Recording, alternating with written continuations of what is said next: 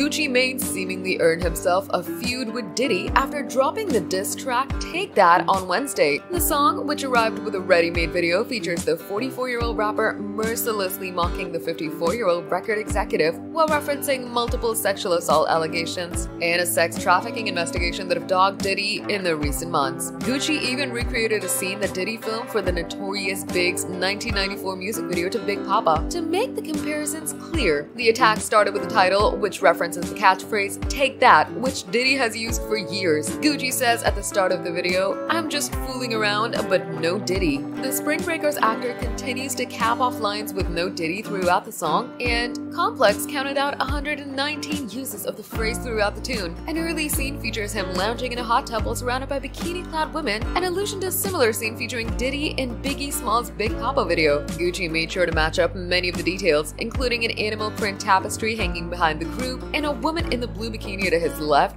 just as in the original scene. Diddy was originally seated next to the champagne-sipping platinum blonde Misa Hylton in Big Poppa, and Gucci played up the visual similarities by casting his wife Keyshia Ka'oir in a similar role, and he put her in a matching platinum wig for good measure. Gucci raps about underage girls and also alludes to Diddy's on-off girlfriend, Young Miami, who was accused of being a sex worker in a lawsuit filed by his producer Rodney Little Rod Jones. She has since denied Jones's claims.